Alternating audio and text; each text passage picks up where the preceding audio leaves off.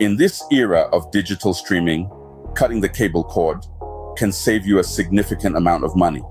Services like Netflix, Hulu, and Amazon Prime offer a wide range of shows and movies at a much lower cost than traditional cable. Plus, you have the luxury to watch your favorite shows on your own schedule. The third budget cut is gym memberships.